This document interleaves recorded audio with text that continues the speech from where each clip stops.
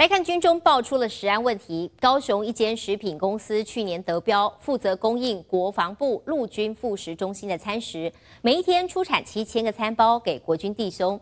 没有想到现在被踢爆说，工厂内业者不但没有依规定穿戴卫生装备，更时常啊随手拿起餐包就边吃边包装，让上千名国军弟兄恐怕是吃下了口水面包。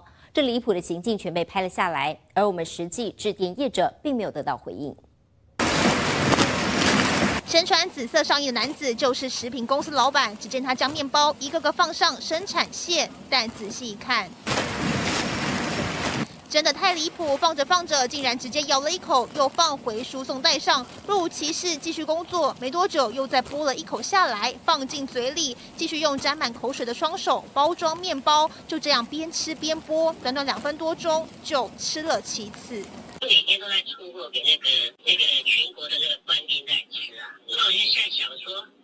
这样子是不是太恶心了？内部和送货员工看不下去，求助高雄市卫生局，只得到还在调查中的回应，只好找上议员澄清。其实这间位在高雄的食品公司是陆军副食供应中心得标厂商，每天负责出产七千个餐包给国军弟兄。不过不仅生产线上业者没有依规定穿戴卫生装备，更时常随手拿起餐包用嘴巴来修边。更夸张的是，为了避免卖不完或供货不足，业者还要求下游厂商配合生产未来面包。还没有标示有效期限的空白面包，他等于在六号的时候要求厂商做九号的面包，让他确保可以在到期之前把它全部卖完。除了违违反食安法，还有伪造文书问题。